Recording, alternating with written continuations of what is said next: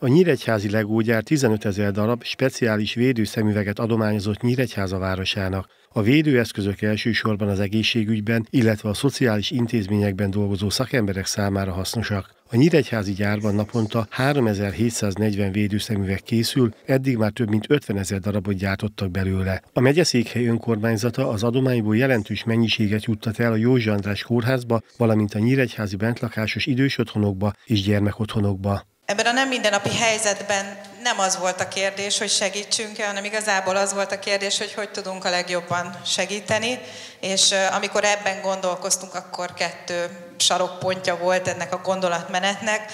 Az egyik az ez, hogy a védőeszközök megléte az abszolút fontos, és ez a mi mindennapjainkban is nagyon-nagyon fontos. A másik pedig az, hogy több évtizednyi tapasztalatunk van műanyag fröccsöntésbe.